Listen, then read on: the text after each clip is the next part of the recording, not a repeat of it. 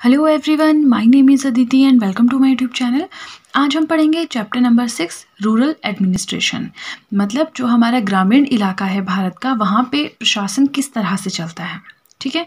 सो rural administration होता क्या है? To manage disputes in rural areas मतलब जो रूरल एरियाज़ हैं, वहाँ पर डिस्प्यूट्स को मैनेज करना है डिस्प्यूट्स को सॉल्व करना है। राइट तो सबसे पहले हम इसी के अंडर बात करेंगे पुलिस स्टेशन की।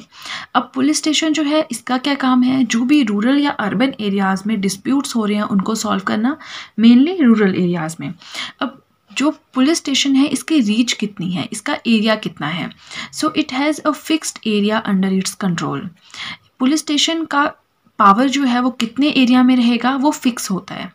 एरिया इनका फिक्स होता है। ठीक है? नेक्स्ट आता है वर्क अगर कोई भी इंसान जाके कंप्लेन करता है पुलिस स्टेशन में तो उस रिपोर्ट को लॉन्च किया जाता है as F I R the report launch is called F I R और एफ़ आई आर की फुल फॉर्म क्या है? फ़र्स्ट इंफॉर्मेशन रिपोर्ट ठीक है?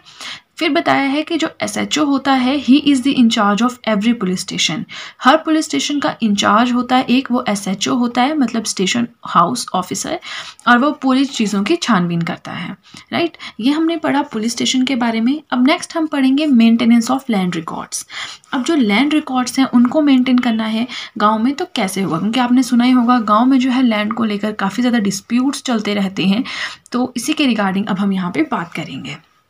देखिए लैंड को मेजर करना और पूरा का पूरा लैंड रिकॉर्ड रखना, ये किसका काम होता है? ये काम होता है पटवारी का, ठीक है? Measuring land and keeping land records is the main work of patwari. अब डिफरेंट नेम से पटवारी की जो पोस्ट है, इसे जाना जाता है। इसे किन्हीं स्टेट्स में लेखपाल कहा जाता है? कहीं पे कानूंगो कहा जाता है और कहीं पे विलेज ऑफिसर कहा जाता है और कहीं पे नॉर्मल पटवारी कहा जाता है। ठीक है?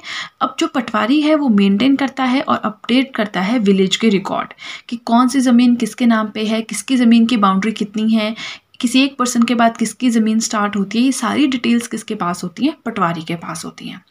अब हम पढ़ेंगे फ़ंक्शंस ऑफ़ पटवारी। अब हमने ये तो पढ़ लिया कि पटवारी का काम क्या है, ठीक है? उसे लैंड रिकॉर्ड को मेंटेन रखना है गाँव में अलग अलग नाम से जाना जाता है। अब हम पढ़ेंगे कि उसके काम क्या हैं। उसके फ़ंक्शंस क्या हैं? पहला है collection of land revenue from farmers जो किसान होते हैं उनसे रेवेन्यू को कलेक्ट करना, ठीक है?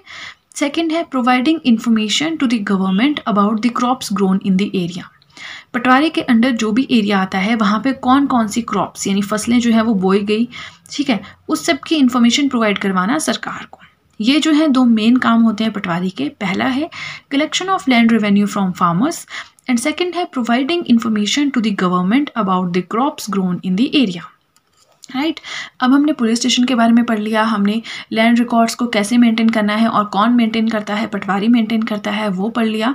अब हम नेक्स्ट पढ़ेंगे the Hindu succession amendment act 2005 so so, इस एक्ट के अंडर क्या चेंजिंग्स हुई हैं वो हम पढ़ेंगे काफ़ी ज़्यादा इंटरेस्टिंग है ये। देखिए जो नया हिंदू लॉ आया है हिंदू लॉ भी नहीं कह सकते जो ये नया लॉ आया है हिंदू सक्सेशन अमेंडमेंट एक्ट 2005 इसके अंडर बेटे, बेटियाँ और माँ, यानी सन्स मदर्स एंड डॉटर्स इन सबको इक्वल शेयर मिलेगा लैंड में।